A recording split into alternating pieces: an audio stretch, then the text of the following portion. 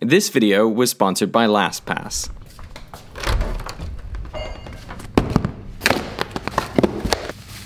Okay, we have three garage doors here. The question is, can you open them, sir? We'll try. There it goes. He's got one.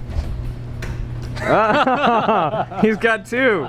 The point of this video is to show how easy it is to reprogram a toy to open almost any radio frequency garage door or gate in seconds. But first, let's talk about LastPass. You know, the average person these days has about 200 different accounts that require passwords. And of course, 200 different passwords is far too much for anyone to remember. So most of us use the same password across multiple sites, and that is just a terrible idea. So you really need a password manager, and LastPass can do that for you. You can store all of your passwords in the one place, which means you never have to remember them again. You don't have to have that anxiety about getting locked out of accounts. You don't have to write them down or you don't have to reset them. LastPass takes care of all of that hassle. It has uh, a great number of features, including unlimited numbers of passwords that you can store there. Also, free sync across all of your devices, and if there is a password breach, you get an alert. Plus, LastPass has multi-factor authentication, and as anyone who knows the internet knows, that is the best way to keep your account secure. You should use it on LastPass and all the other places where you possibly can. recently, LastPass teamed up with YubiKey and Microsoft to support their multi-factor authentication. So to find out more about LastPass, check out the link in the description. And thanks again to LastPass for sponsoring this video. And now, let's try to break into my garage. All right. What do we got? No wonder you have so many if you treat them like this. okay, well, do you want to see the signals that these produce? Sure. Let's do that. This is my friend Samy. Now, when you're dealing with garage, uh, like garage door remotes, they're typically in what's known as an ISM band, Industrial Scientific Medical.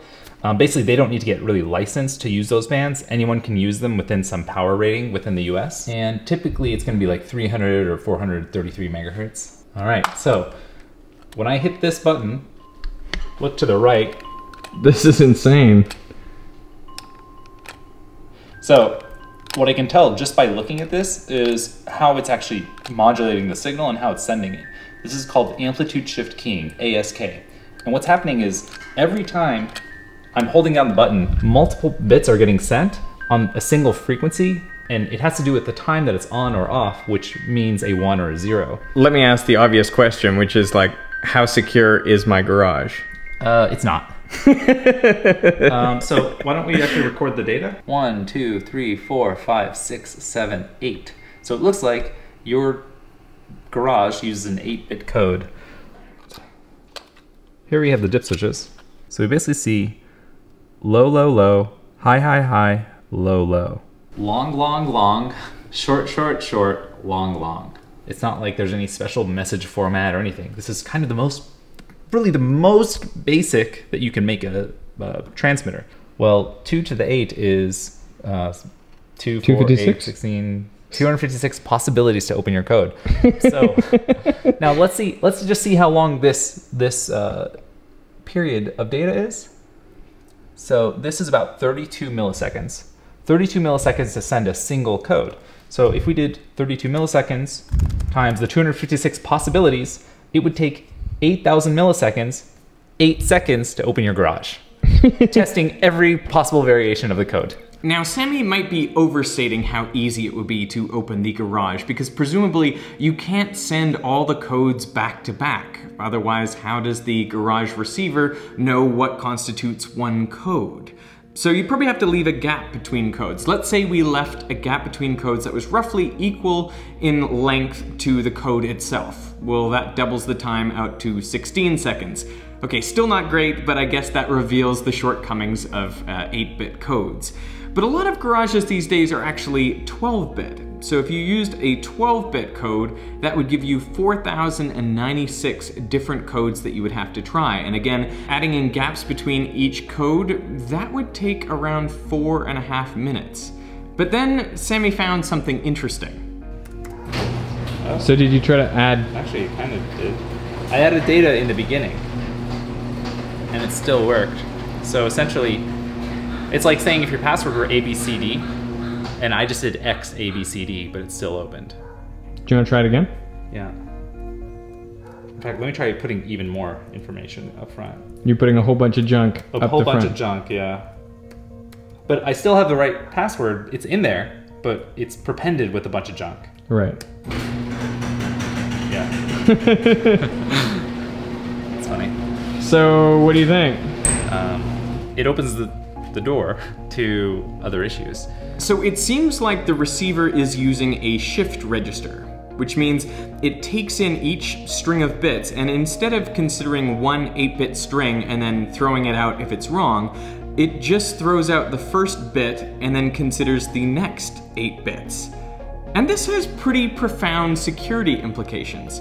I mean, not only does that mean we can throw out all the gaps between our codes that cover all the combinations, it actually means we can merge some of those combinations together because essentially we can overlap the codes to make sure we have every combination in there. A sequence like this is called a De Bruijn sequence, and that reduces the number of bits you have to send dramatically.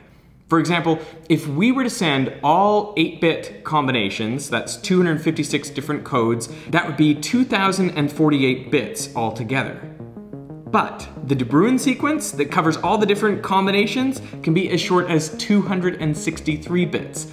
That's a reduction of almost 90%, which means instead of taking 8 seconds to open the garage, it would take less than 1. Now what about in the 12-bit case? Well, there are 4,096 possible codes, which yields 49,152 bits you'd have to send if you wanted to try each code individually. But the De Bruijn sequence for 12 bits is only 4,107 bits long.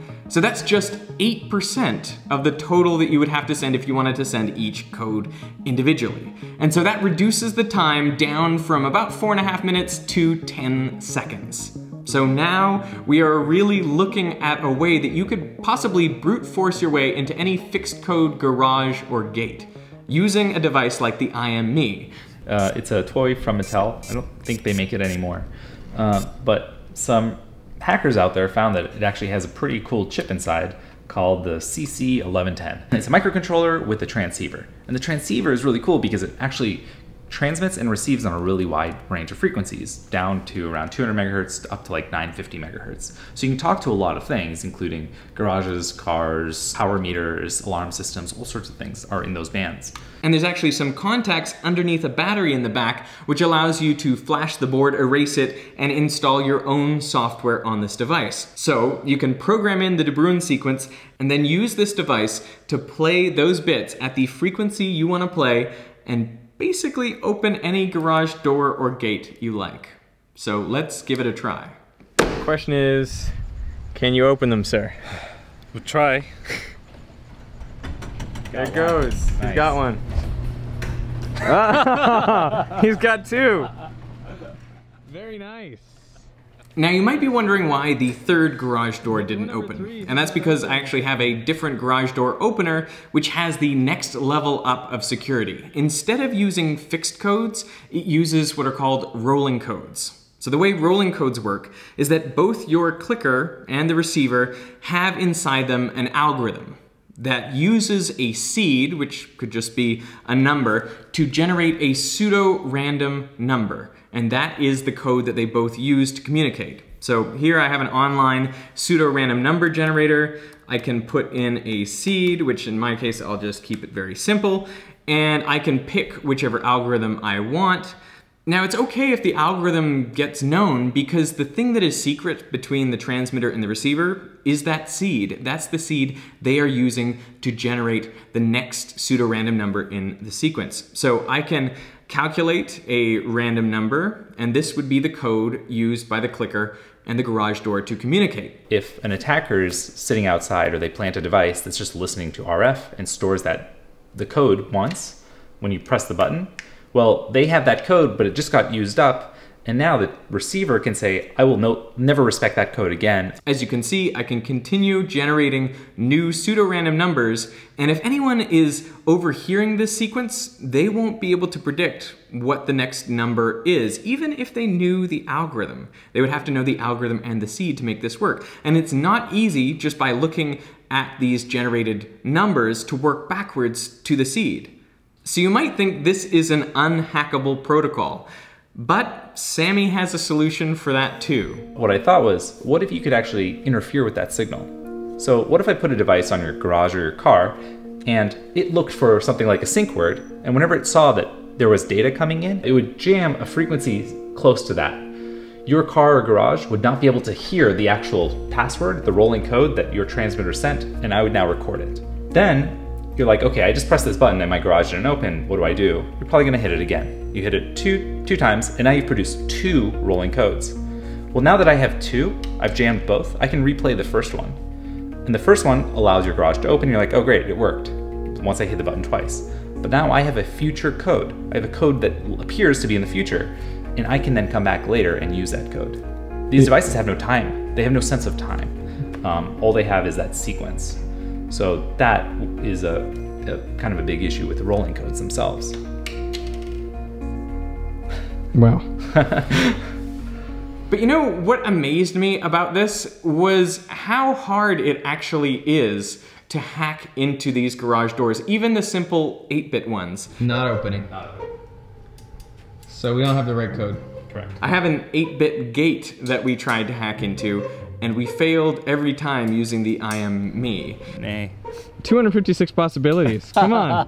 How long can it take you to crack this thing? I think we have a bug to work out. Uh-oh. Um, The gate is unmoved. This was meant to be a video about just how easy it would be to crack a fixed code gate. But it turns out that it's harder than it looks. I just I just did that. For a minute, Samy thought he had it. Uh, yeah, the gate. It's hard to get the frequency exactly right. It's hard- and so- and the bit rate. And one bit of information for that clicker, which is custom built for that purpose and simply has those dip switches, is not one bit of information for a multi-purpose device like the IM ME. There you have to get the baud rate right. That is the timing at which you're sending these bits. You have to get the length of the bits perfectly right. So it's much more challenging, as I found out, uh, to hack into these systems than I thought. Now, if you want to investigate this some more for yourself, you should check out Samy's original videos on these topics. It's very informative and he has links to code that you can use, though not fully workable code because uh, he doesn't want to, of course, expose a lot of people to security breaches. So the link to his video is down in the description.